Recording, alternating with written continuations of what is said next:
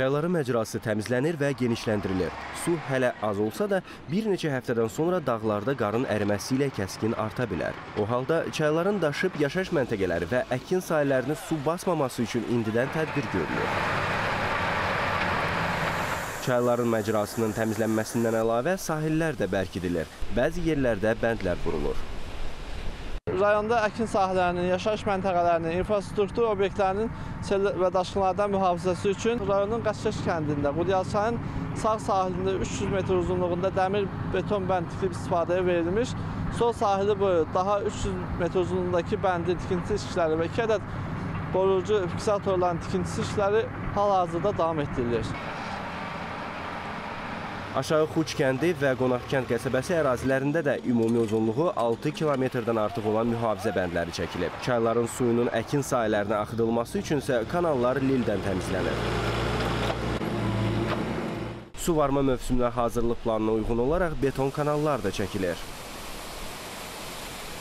Beton kanallar olmayanda çox əziyyət çəkmişik. 100 metrlərlə, 200 metrlərlə əl əməyi ilə arxları qazıyıb gətirmişik, təmizləmişik. Beton kanallar çəkiləndən sonra bizim işimiz hardasa 80%, %80% yüngülləşib. Son illərdə beton üzləyə alınan kanalların ümumi uzunluğu 120 kilometrə çatdırılıb. Nəticədə bağların suvarılması xeyli yaxşılaşıb. O 2 kilometr var torpaq kanaldan var su gedib çatana kimi bəlkə də günorta ikən vaxt gedir. Ancaq kanal beton kanallarda 10 dəqiqədə görürsən ki, su yerindədir, sudan da səmərəli istifadə olunur.